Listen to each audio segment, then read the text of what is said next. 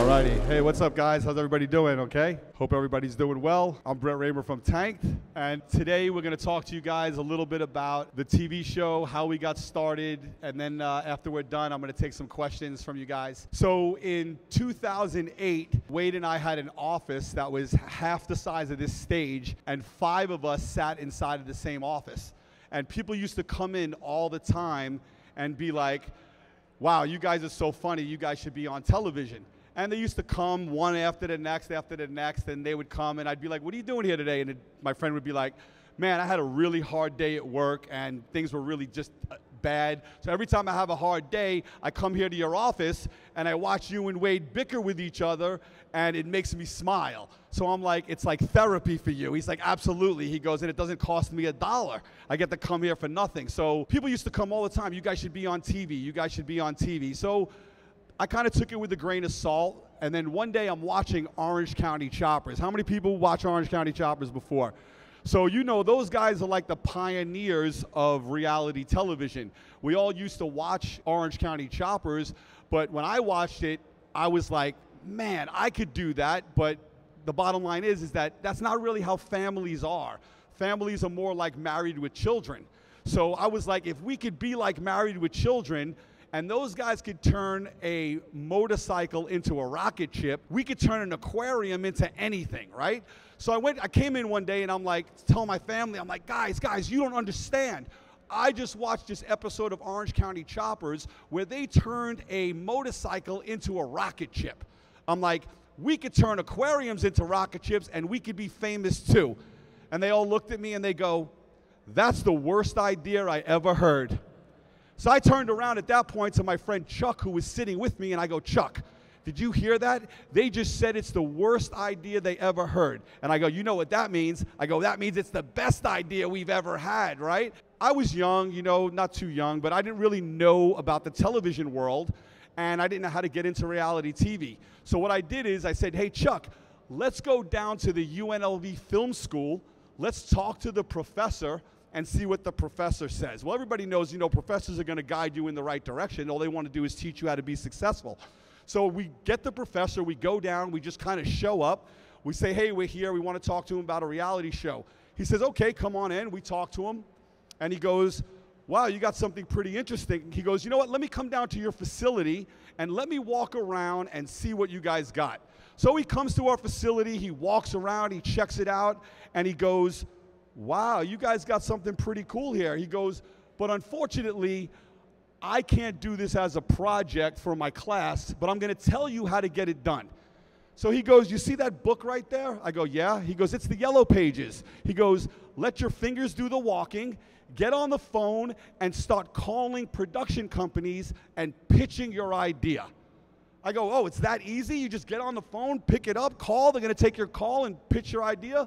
He's like, just give it a try. That's what I could tell you. So I'm like, all right, this is going to be kind of easy, right? So I get on the phone and I'm going to show you how the first phone call went. You ready? Hello, this is uh, Brett Raymer. Uh, we have a company in Vegas. We're trying to become reality TV stars. We build the most amazing aquariums in the world. Hello?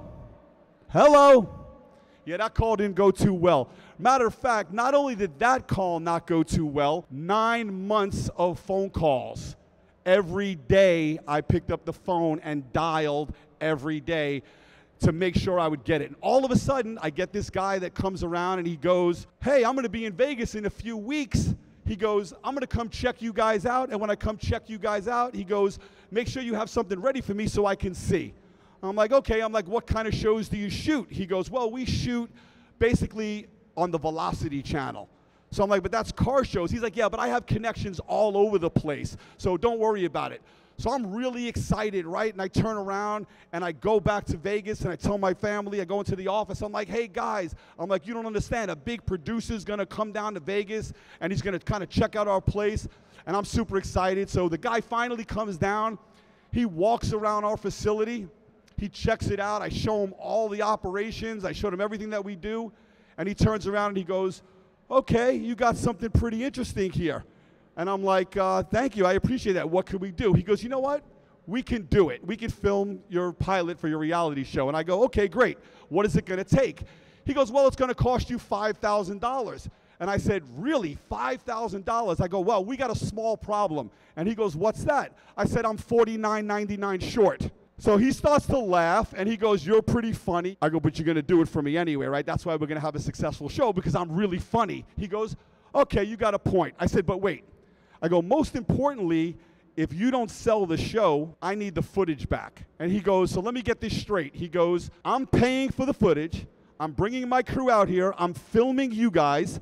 And then if I don't sell it, you want it back. He goes, But it doesn't work that way. I go, I understand that, but are you going to sell the show? And he goes, Absolutely. So I said, If you sell the show, this paper is irrelevant. So you should just sign it anyway. So he goes, Okay, you make a good point. He signs the paper. I put it away. Now remember, it took me nine months to get him to come down. That turned into a year before we actually got him to our facility.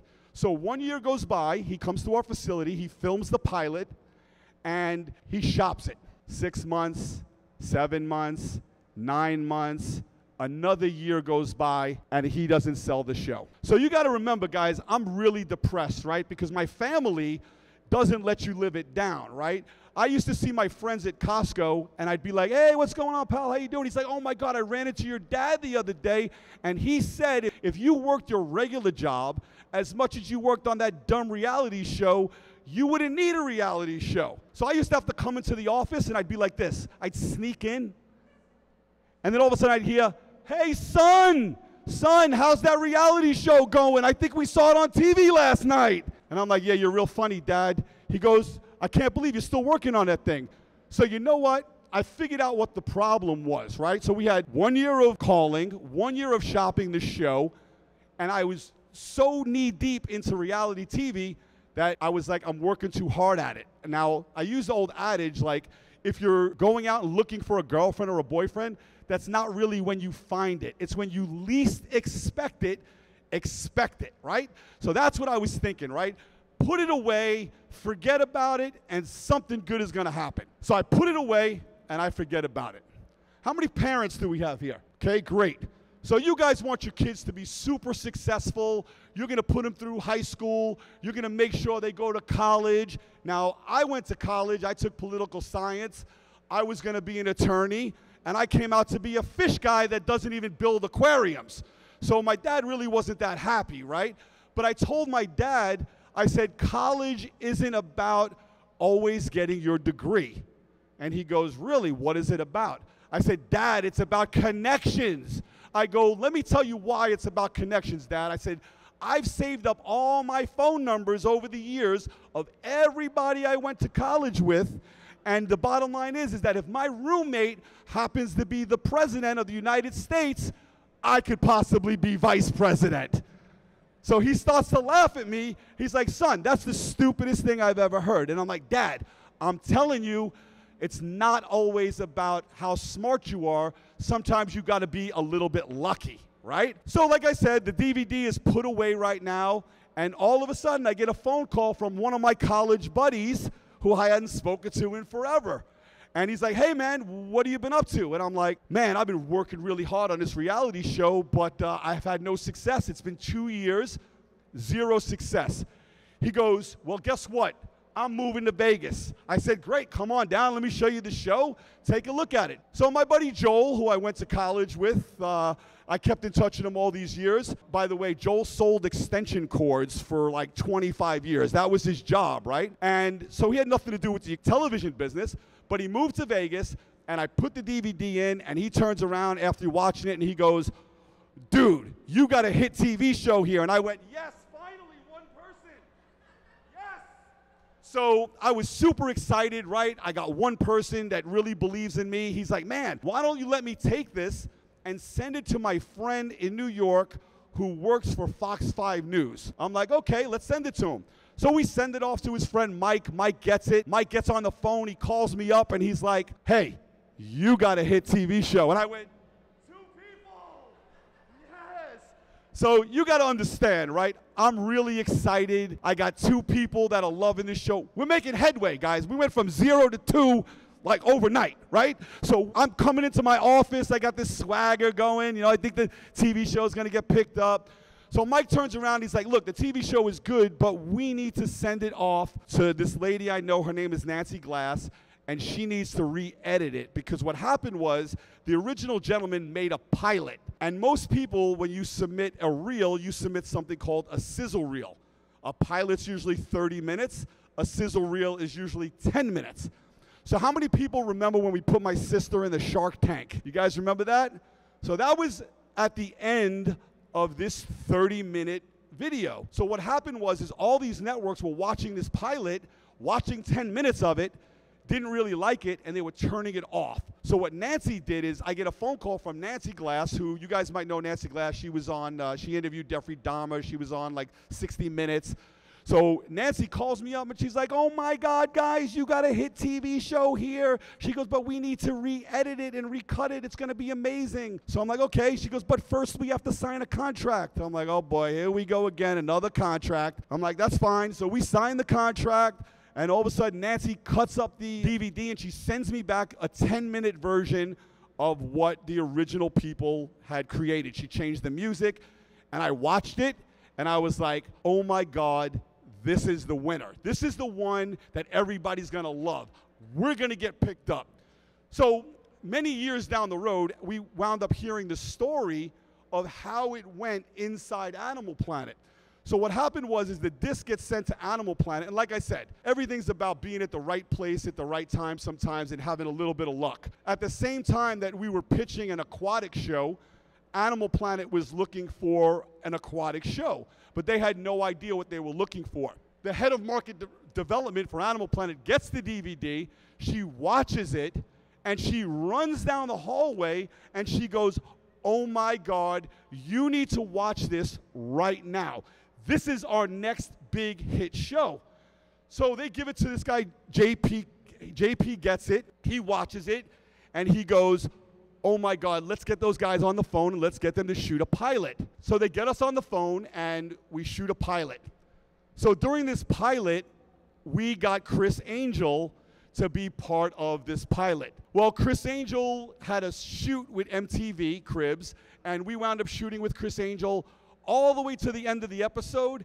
And then MTV Cribs comes in and says, hey, we need the aquarium pumps off for two days. Well, we couldn't take catch the fish. We couldn't because of the shape of the aquarium, the where it was set, and we basically couldn't do it.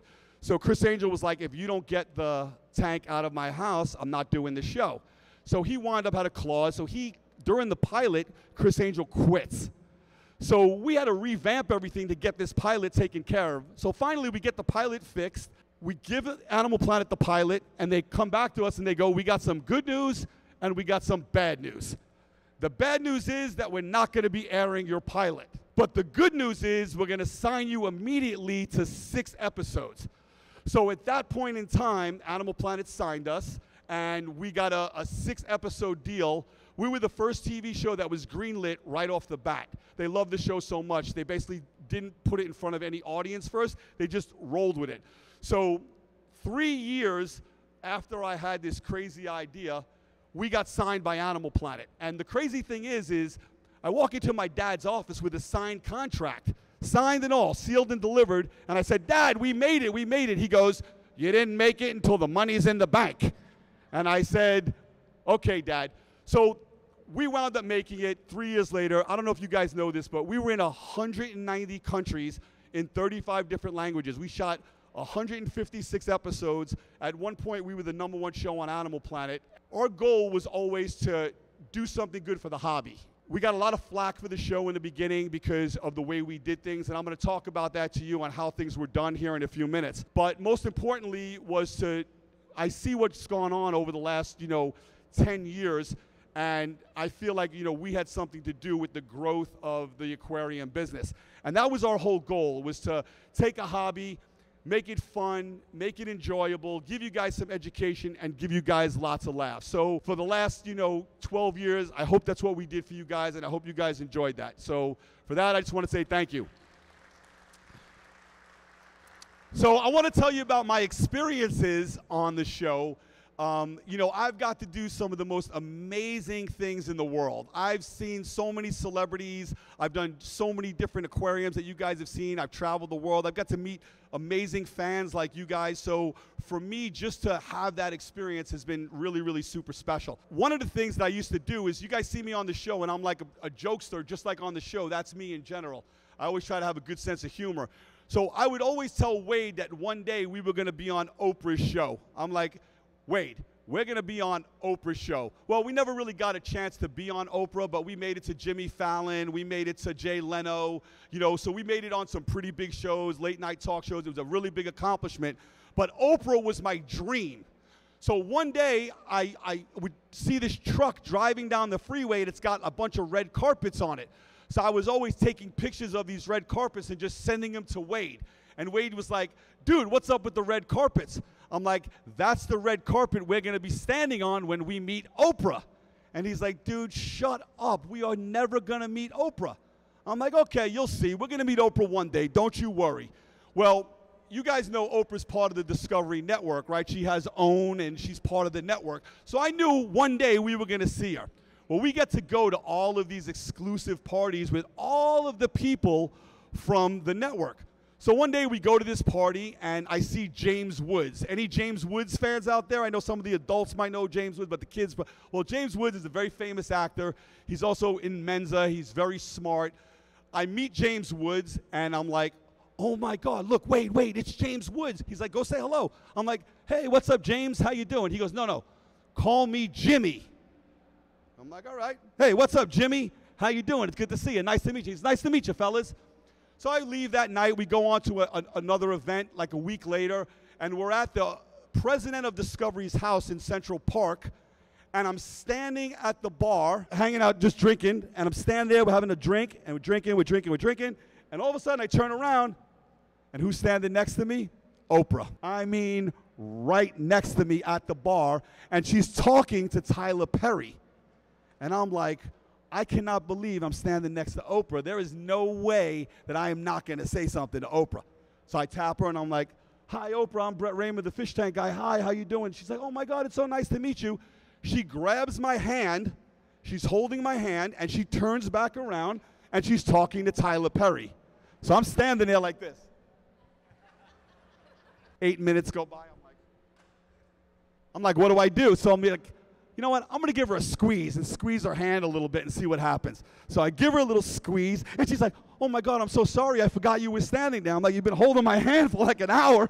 And she's like, oh my God. I'm like, Oprah, you don't understand. I love you so much. I've been wanting to be on your show forever. She goes, Yeah, you know it's been canceled for two years. I'm like, No, I know it's been canceled, but you don't understand. I'm like, Can I have a picture?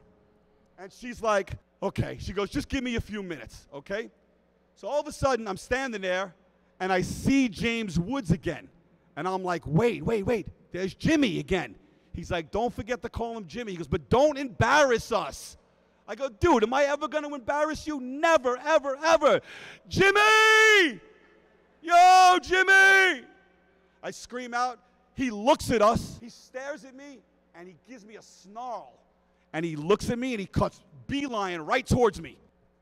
Looking, looking, looking. He's like, fellas, fellas, you're never gonna believe it. My grandkids love you. I need pictures. So I'm taking pictures with James Woods, and uh, I kind of walk back around the party. We get a bunch of pictures, and I'm back to Oprah, and I'm like, hey, Oprah, you remember me? I, you were holding my hand for like an hour. And she's like, oh my God, you ready for that picture? And I'm like, yeah, yeah. So I look at Wade. I look, I'm, wait, get the camera, get the camera.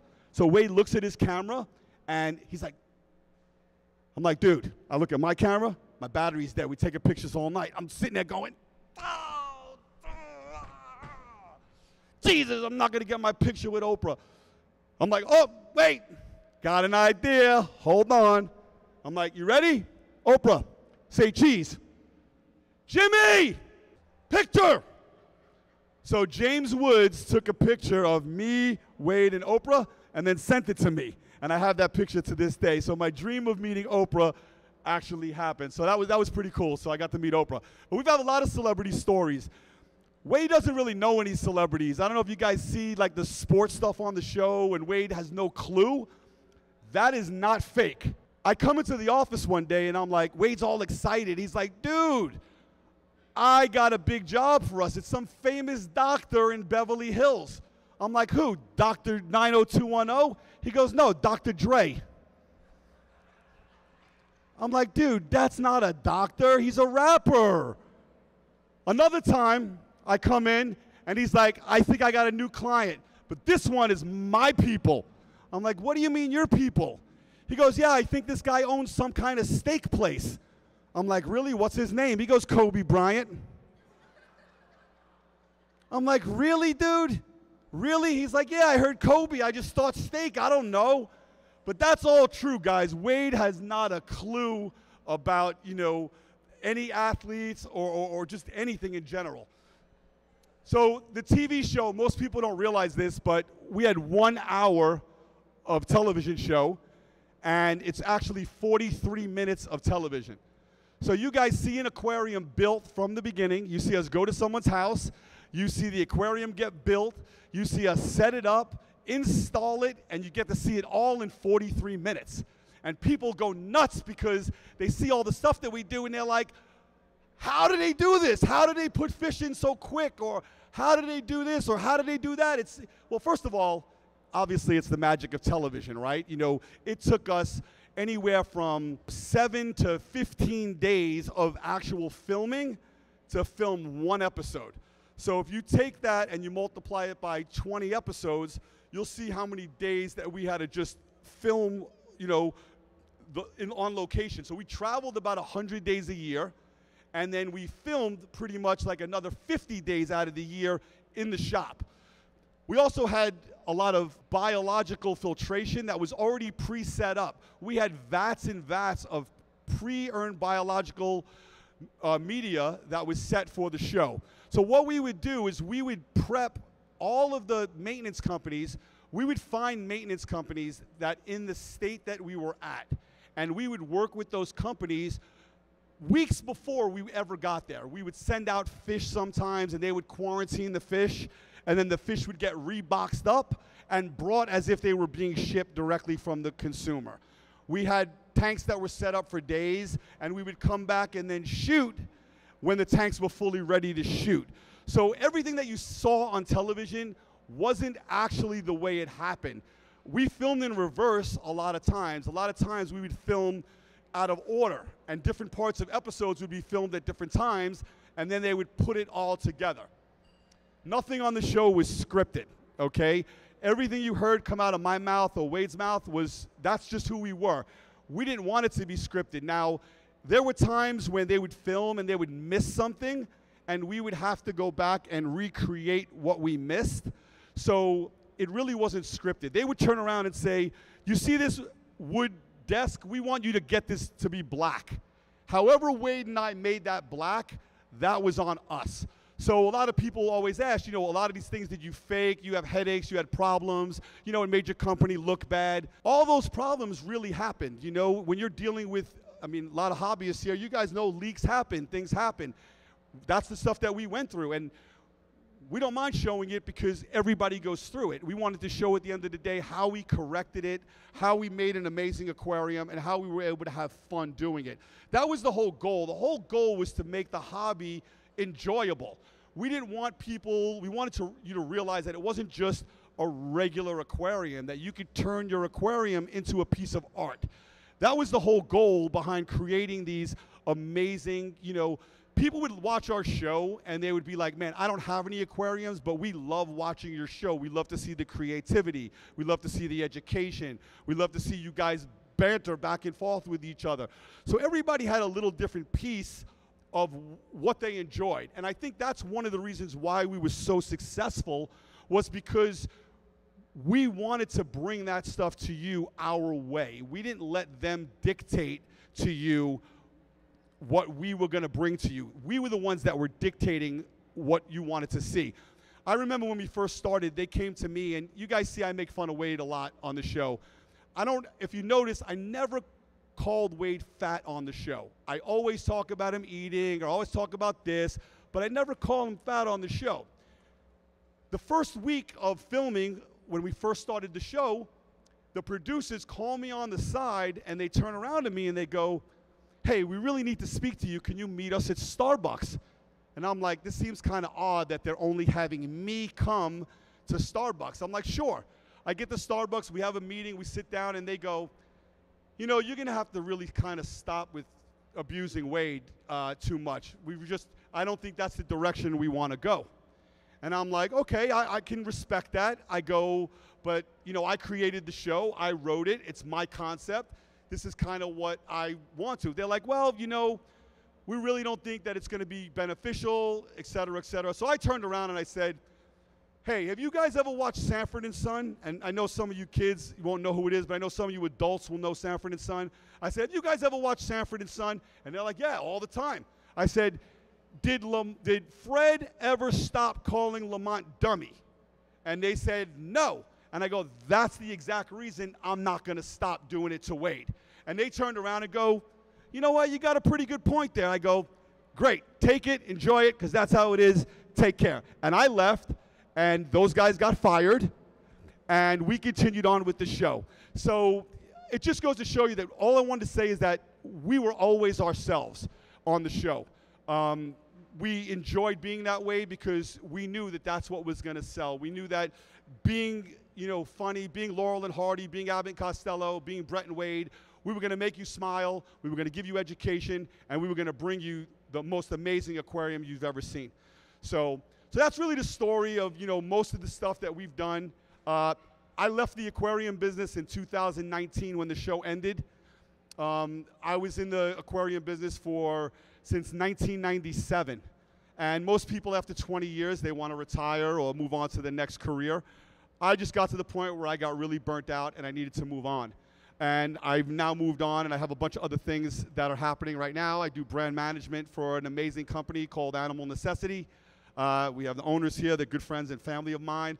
I also have a new product called uh, Slap It On. Uh, it's educational stickers that I'm working on. I'm doing some NFT crypto stuff. We're building digital virtual aquariums. Uh, you can see that at my booth here today too. But most importantly, um, I would love to make the TV show again. If that opportunity arises, uh, it will definitely happen. Um, I have a podcast called Going Fishing with Brett Raymer. It launches every Friday, so if you guys subscribe to my podcast, it's on Apple, Spotify. Uh, each week, it's me and Agnes. We relive uh, an episode each week. We also have had Johnny Damon on. We've had uh, Jeff Tremaine on. We have Dwight Howard in the queue. A lot of the different celebrities, you know, come on back in. Uh, eventually, we're going to have you know a bunch of YouTubers on, and we're going to kind of just keep it within the hobby and kind of it'll be an update to let you guys know what I've been up to. So now's the fun part. Now's the part where I get to talk to all of you guys about all your questions. You guys get to ask questions. Uh, you guys can ask me anything that you want. Uh, favorite tank, how much they cost, behind the scenes stuff. Uh, I'm an open book. So we got a mic. If you just raise your hand and you got a question, we'll start right here. Why do you use the fake coral? Why do we use fake coral? Uh, because there are so many people out there that have different thoughts of what artistic is. And artistic can be fake, it could be live, it could be planted. It just depends. There's a market for everything. So there's a huge market for fake coral. But the reason we used fake coral mostly on the show was because of time frame. So you know to make a reef tank to really make it look amazing, you need time. And you got to have patience. I have no patience and I had no time. So the long story short is we did a couple on the show but the bottom line is, is that's why we used fake coral. And it's a lot easier to make cool stuff out of fake material. So, next question. Hi, uh, I've always been a huge fan of your show, and I am very artistic myself. My family, my friends always give me like I'm a lunatic just because I've always wanted to make my own tanks myself. What would you consider the most basic equipment to start out with? Great, that's a great question. So the most basic equipment to start out with, I try to tell people you know, to, if, if you want if you have a hang on the back filter, I try to tell people that you should, you can use a hang on the back filter, but use it in conjunction with a canister. Um, if you, to me, a canister and a hang on the back is going to get you where you need to be for basic filtration. It's pretty easy, pretty simple to work with. Um, I've used them on many aquariums. You know, wet dries over the last maybe 20 plus years have become really popular, you know, different kinds of biomedia. But I personally, like I said, any aquarium I get, I wouldn't go with a hang on filter. I would use it in conjunction with something else. Are you still in contact with Wade? So I speak to Wade once in a while. When I left, uh, when I left ATM, I needed to separate myself from the family completely. Uh, 25 years of working with your family every day. It felt like 12 days a week, if that makes any sense. But it was just tough for me, and I needed to get out. And it was the best thing I ever did was to leave uh, ATM. Not in a bad way, but for me personally, I just had enough. You know, I created something really special, and when it went away, I kind of felt like that was my time and uh, I took a break, and now I'm, like I said, I'm back in the, in, I'm doing things that I love. That's what's most importantly. Uh, if you guys make it to Vegas, uh, I'm opening a restaurant tomorrow. Uh, it's a New York-style Italian deli. Uh, all the walls aligned with all the memorabilia that I collected from the TV show. So you could come in. As we have a fish tank in there as well. So I'm doing things that I really enjoy. You know, I, I do brand management. I do video content. Uh, I, I, work with people. I'm still doing some things in the fish game. So it just enables me to spend more time with my family and friends. You know, as you get older, those are the things that you want to do, spend with your family. So. Um, you had a Lifestyles and Fish and Famous YouTube. Was, I do. Was, was, there a lot shot with that, episodes wise? So I have a Lifestyles of the Fish and Famous YouTube. Um, I was going to shoot a TV show after Tanked, and it was called, the original name of the pilot was Lifestyles of the Fish and Famous. Um, but they wanted to use Tank because otherwise they would have had to lease that from me and pay me money for it. So they wound up calling it Tank. Um, but I do have a, my podcast, like I said, is on Lifestyles of the Fish and Famous. I have some uh, new training system that I'm gonna, I built I, over the pandemic. I built an interactive aquarium maintenance training program where it's going to be me teaching people how to maintain their aquariums properly. Um, we'll get clips of that. It'll be on Lifestyles of the Fish and Famous. But uh, that is my YouTube channel, and uh, hopefully we'll start seeing some more videos and start seeing some more stuff on there. Okay, so I have a few questions. What was your most expensive and least expensive tank? Most expensive? Yeah. So the most expensive aquarium that we built was a church in Dallas, Texas. Uh, it's called IBOC. It was on the show. It's where we lowered the Wade lowered dove the tank and lowered the cross. So we did that tank about 15, maybe plus years ago, and that tank was four and a half million dollars. Oh wow! That's yeah, you know the church got more money than God. So they have a 10,000 seat congregation. Um, they have a full in-house staff to take care of their aquarium, and uh, they, they have their slogan above it that says, uh, I think we make fishers of men, or it's something in the Bible. I'm not really very religious. But at the end of the day, they feel like everybody, their slogan is everybody's equal, just like fish are equal in the ocean. They all swim, we all need to swim together and be harmoniously in, on this planet. Do you ever build tanks for family members or anything? Do we ever build tanks for family for, members? For family members. You want to be my son? I could build you something, man. Uh, you know what? I take care of everybody. You know, at this point, I don't build tanks anymore. I never really built tanks. I had somebody build them for me. But at the end of the day, we always take care of our people no matter what. If you're my family, you're taken care of, regardless. Okay, thank you. All right. Anybody else? We got someone in the back. What's your favorite freshwater fish and saltwater fish? So my favorite saltwater fish is a clown trigger. Um, I love the clown trigger because I love the beautiful colors, but I also it's it's it's a very aggressive fish, and it could be. Uh, it's kind of like me. I'm like kind of funny, but I could also be aggressive. So I like the clown trigger. Uh, as far as freshwater fish, I'm a cichlid guy. I like the colors, you know. I just like that they're really hardy, they're easy to take care of, and uh, they also could be aggressive. So I like cichlids for sure. Anybody else? Questions? Questions? What was your favorite prank on the show? My favorite prank on the show. So that's that's a great one. So you guys saw the hot sauce prank, right? and the hot sauce when I got weighed with the hot sauce and I, get, I put the hot sauce. So that was that was one of my favorites. But the best one was is when we got my dad. So we filled the air conditioning vents of his car with talcum powder. And then we told my dad that we were going on a that he had a big appointment that he needed to go on. Now the great thing about the pranks were nobody, everybody knew what was going on except for the person that was getting pranked. So my dad thinks he's get, he got his nice suit on, his three piece, and he basically went out and turned the air conditioning on, and it blew the white powder all over him. That was one of my favorites. Uh, when we put Redneck in the desert, that was one of my favorites. I mean, we, we, we had a lot of fun. So all, all the pranks that we did on the show were all real. Nothing was staged.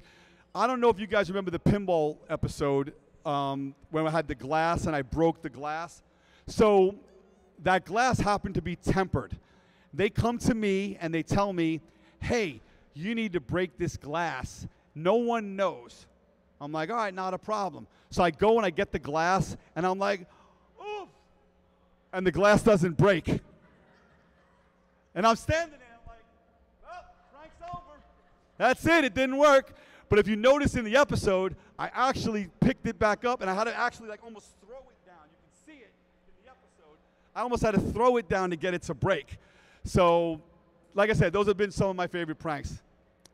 Anybody else? Any questions? How are you? How are you doing? I'm doing well, and you? awesome, doing great. I wanted to ask you how you mentioned about Redneck. How, how's he doing and what's he doing now? Redneck. Redneck's Yes. doing well. So Redneck is actually working right now at Johnny Walker RV, where our aquarium was. You got, he loved that place so much, he got a job there. I'm dead serious. So he works there. He's like the head mechanic right now, and he works there. I spoke to him the other day.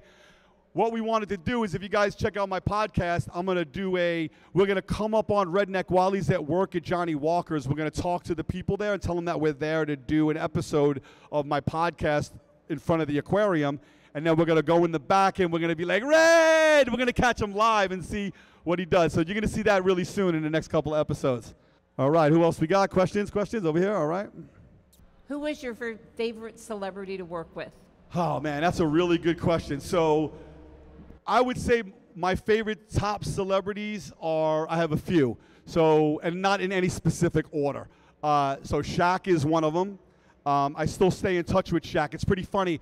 About a year ago, I'm sleeping at five o'clock in the morning. My phone rings, and I look at the phone, and I'm like, "Oh, it's a block number. I wonder who this is." So I pick up the phone, and all I hear is, "Yo, what's up, big dog?" I'm like, Shaq? He's like, yeah, man. He goes, I need a favor. He goes, I got this kid that really loves you. Their family's staying at the Wynn. I need you to go and hang out with the family for a bit. I'll owe you one. I'm like, yeah, no problem. So I went down there, met the kid, met the family, took my girlfriend. We hung out, went to a North Carolina basketball game with the kid. So Shaq and I, he comes to Vegas, he gives me a call. Marshawn Lynch, I get a call. Every once in a while, I get a call from Steven Tyler. Uh, you know, we did, a, we did some work for him, but not on the TV show. Uh, Tracy Morgan, still one of, one of my favorites. But one of my good friends that I actually became good friends with is Johnny Damon. Uh, he lives here in Orlando. Uh, Johnny, good friend of mine. Uh, you know, been to his house afterwards, hung out with him. But a lot of these guys, like I said, they, they're all pretty cool. There was only a couple that I just really didn't care for. But for the most part, everybody that we met on the show was, was, was pretty pretty grateful. It was pretty fun. Anybody else? Questions? Questions? This is my daughter Kayla. You guys remember the episode, the Trades Wins episode that we did, and I had the Sweet 16 for my now 23 and a half year old daughter. What's up, Kayla? What was your least favorite episode to shoot? So my least favorite episode uh, was probably Criss Angel because of what he did. You know, I did. If I ever see that dude, I think I'm gonna make him disappear. No, you know, honestly, I think my least favorite episode might have been John Wall, the episode with John Wall. John didn't really hang out with us much. All all the celebrities really got excited when they we came to their house. Most of them were big fans. I don't know what John had a bad day or not, but he just really wasn't into hanging out, you know. So I would say probably, you know, John Wall was probably one of them. I don't know if you guys saw the episode uh, where Wade and I went to Dubai. Um, if you hadn't seen that, look it up. It's called uh, Fish Out of Water, Brett and Wade in Dubai. So I know when we really made it is when we were fil- I'd never been to Dubai before, and I was like, wow, this is going to be an amazing experience. We got to go to Atlantis. We got to swim inside the big aquarium. In Dubai, we were, we're filming inside the Atlantis, and while we're filming, there was two men that happened to be from Dubai, and they're fully dressed up, you know, in the in the Dubai clothing. They have the turbans on, and we're kind of filming, and they see us filming, and right in the middle of filming, the one guy looks and he sees us, and he sees me, and he sees Wade, and he comes walking over right in the middle of the set. Doesn't stop, sees the cameras, And he goes, Oh my God, I love you two guys. You guys are so amazing. He goes, You, you're the funniest guy. You make fun of this guy like I'd never seen before. You guys are so crazy. I can't believe I'm seeing you. Give me a hug. Give me a hug. I looked at Wade and I go, Dude, we made it, bro. We're in Dubai. We're getting hugs. We made it. So that was amazing. Then we went to a panda park in China there's a, a, a, school from Norway that was doing that was singing. They were actually on stage singing, performing at the Panda Park, and they were practicing. All of a sudden, we're like from here to that wall. That's how far away we are. We're at the wall, and they're over here on stage, and they're singing. And one of the kids on stage notices me and Wade. He's, I hear them talking. They're talking. We're watching. We're watching. They all start coming like towards us, and I'm looking like I'm looking behind me like, where are these kids coming? It's like 40 of them. And they're like, they, they couldn't, they didn't speak much English. They had one of the teachers tell us that they can't believe that they traveled from Norway to China to see Brett and Wade on their favorite show in, in Norway. So that was pretty exciting, you know, to go to a panda park in another country and then see kids from another country come to us and tell us how much they loved our show that was something special for us. It was really, really exciting. So, any other questions? Anybody else? Any last thoughts? All right, I guess not. All right, guys. So, look, I just want to say thank you once again. Without you guys, I wouldn't have a TV show. So, for that, I really want to thank you guys for watching over all the years. Uh, you know, the reruns are still on, they run all the time. Uh, please check out my podcast. It's called Going Fishing with Brett Raymer. If you miss us, you will get a dose of me and Agnes every week. We relive each one of our episodes. Like I said, we bring in our celebrity guests. Uh, and if you guys want to know what else I've been up to, just come visit me in my booth right in front of the YouTube stage. Uh, come say hello. We can take some photos, sign some autographs, whatever you guys want. But once again, thank you very much for giving me 10 years of amazing stuff. Thank you.